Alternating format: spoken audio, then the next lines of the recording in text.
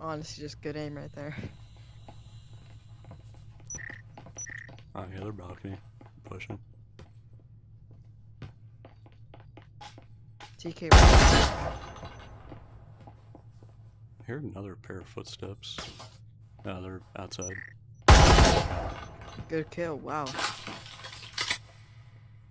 Last guy I believe was at hatch, unless that was him. Yeah, I think so. Just cap objective. It's 1v3. You guys got this. Uh, last guy is balcony. You boys. Alright. Good shots there.